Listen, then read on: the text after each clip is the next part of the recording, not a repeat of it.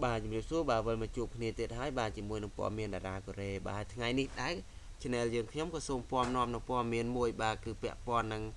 បាទក្រុមតារាចម្រៀងធីរ៉ា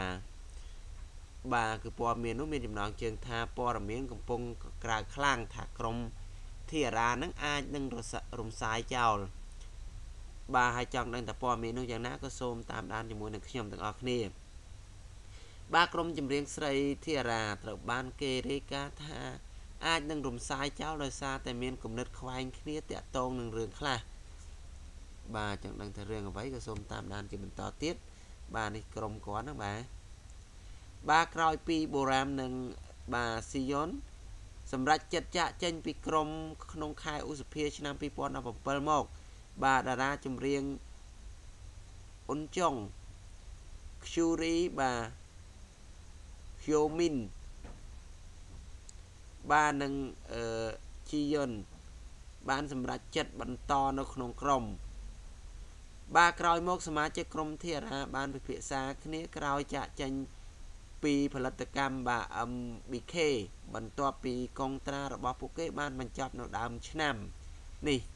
ផលិតកម្មនេះបានផ្លាស់ប្ដូរឈ្មោះធារាចេញដើម្បីបញ្ជាសមាជិកក្រុមនេះកុំឲ្យរក្សាឈ្មោះ នេះក្រោយពីពួកគេបានចាក់ចេញ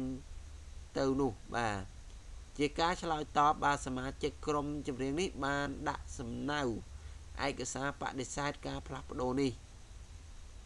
បាទទោះបីជាសមាជិកនីមួយៗបានសម្រេចចិត្តបដិសេធនឹងខាងផលិតកម្ម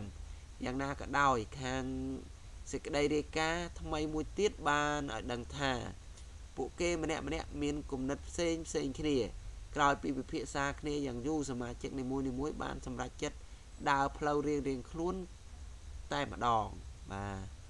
នេះក្រុមពួកគាត់បាទបាទអ្វីមិនទាន់បានប្រកាសជាផ្លូវការនៅឡើយទេប៉ុន្តែសមាជិកក្រុមចម្រៀងនេះក៏នៅមិនទាន់បានចុះកងត្រាជាមួយផលិតកម្មនេះសារជាថ្មីដែរបាទ បាទព័ត៌មាននេះខ្ញុំបាទក៏សូមបញ្ចប់តែត្រឹមនេះបាទសូមអរគុណរាល់ការ Subscribe Like Comment និង Share អរគុណរាល់ការតាមដាននិងគ្រប់គ្រងនៅ Channel យុគជាងខ្ញុំ បាទខ្ញុំបាទក៏សូមខន្តីអភ័យទោសរាល់កំហុសខុសឆ្គងដែលតែងតែកើតមាននៅពេលអានព័ត៌មានក៏ដូចជាអាការៈវិរុទ្ធខ្ញុំបាទសូមខន្តីសូមអព្យាស្រ័យបាទសូមអរគុណសូមជម្រាបលា